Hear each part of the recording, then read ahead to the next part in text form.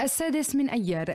تاريخ اعتمدته سوريا ولبنان من كل عام ليكون عيدا للشهداء وهو مناسبة وطنية. سبب اختيار هذا التاريخ هي أحكام الإعدام التي نفذها الاحتلال العثماني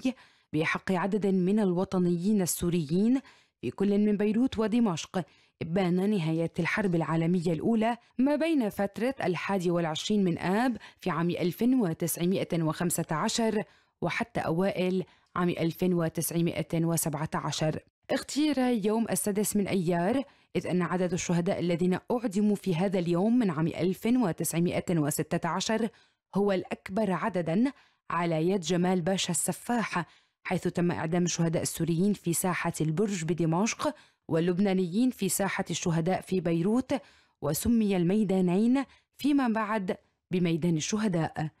ومن أسماء الشهداء الذين أعدموا في دمشق شفيق العظم عبد الحميد الزهراوي عمر بن عبد القادر الجزائري شكري العسلي عبد الوهاب المليحي رفيق سلوم رشدي الشمعاء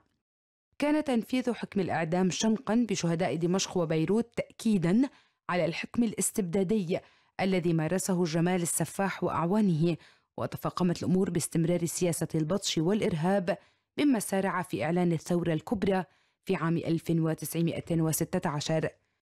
وفي هذه المناسبة كتب شهداء سوريا بدمائهم الطاهرة صفحات جديدة من البطولة والشرف ليكملوا مسيرة آبائهم وأجدادهم التي خلدها التاريخ بيوم السادس من أيار عبر التضحيات التي قدموها عبر سنوات الحرب التي مرت على سوريا.